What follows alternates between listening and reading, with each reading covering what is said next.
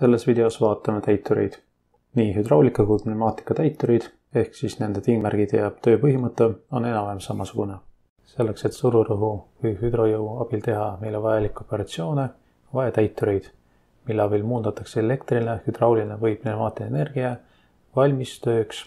tavaliselt meil on vaja mehaalilist liikumist ehk siis füüsilist tööd.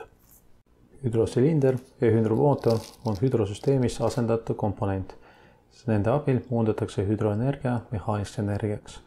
nagu hüdromootor, nii ka hüdrosilinder ühendavad lüliks on hüdrosüsteemi ja tööorgani vahel. erinevalt hüdromootorist, mille väljundiks on pöörlev liikumine, kasutatakse hüdrosilindreid külgliikumise realiseerimiseks. arvestamata hõõrdumist silindrist sõltub silindri poolt arendatav maksimaalne jõud töörõhust ja kolvi efektiivsest pindalast.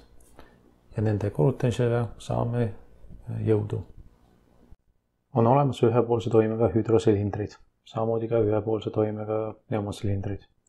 hüdrosilindri tähtsamaks valdkonnaks on koormuse tõstmine või langetamine. ühepoolse toimega hüdrosilindrid on sellised silindrid, kus me saadame vedeliku jõud ühelt poolt sisse ja liikumine toimub ühes suunas. tagastamine võib toimuda näiteks vedruga.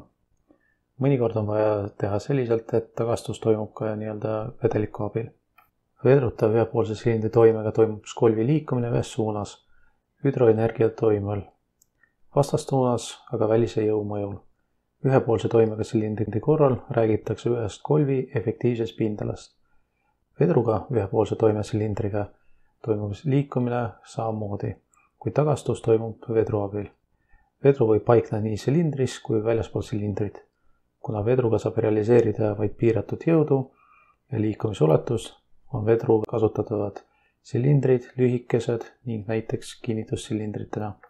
kahepoolse toimesilindri korral toimub kolvi liikumine mõlemas suunas töövedeliku toimel. kahepoolse toimega silindri korral räägitakse kahest omavahel võrdsest või erineva suurusega kolvi efektiivsest pindalast. ehk siis selleks, et kolvi liikuda, on vaja vedelikku anda ühes suunas ja et tagasi liikuda, on vaja anda teises suunas. tihtipeale neil on kaks ühenduskohta antud skeemidel näeme, kuidas ühendada ühepoolse silindriga või kahepoolse silindrit. kui vaatame vasakpoolset skeemi, siis me näeme, et selleks, et silinder läheks välja, on vaja anda hüdraulist energiat ühelt poolt ja tagastus toimub tavaliselt vedruga. kui me vaatame teist skeemi, siis me näeme, selleks, et silinder läheks välja, on vaja anda hüdroenergiat ühelt poolt ja selleks, et silinder läheks tagasi sisse, on vaja anda hüdroenergiat teiselt poolt sümmeetrilises silindris on kolvi erinevate poolde pindad võrdsed. tänu sellele on kontaktsel töörõhu korral võrdsed kolvi poolt arendatud jõud ja kiirused. eritellimusel võidakse valmistada sümmeetrilisi silindri, millel on kolvivarrete läbimõõt erinevate kolvi pooltelt erinevad ning nende silindrite kohta kehtivad samad jõud.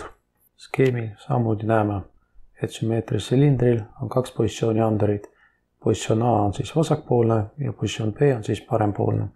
ja sellega me suudame juhtida silindreid kas ühele poole või teisele poole. hüdromootorid muundavad hüdraulise energia tagasi mehaaniliseks energiaks. nagu pumpades on ka hüdromootorises kasutus mitmeid erinevaid tööprintsiibe ja konstruktsioone.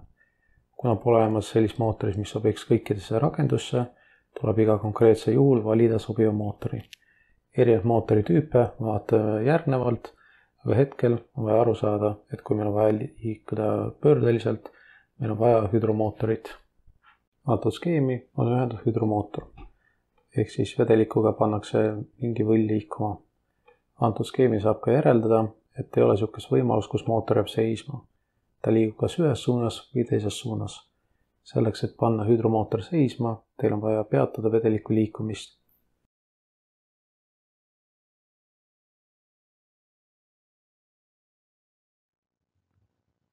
allikad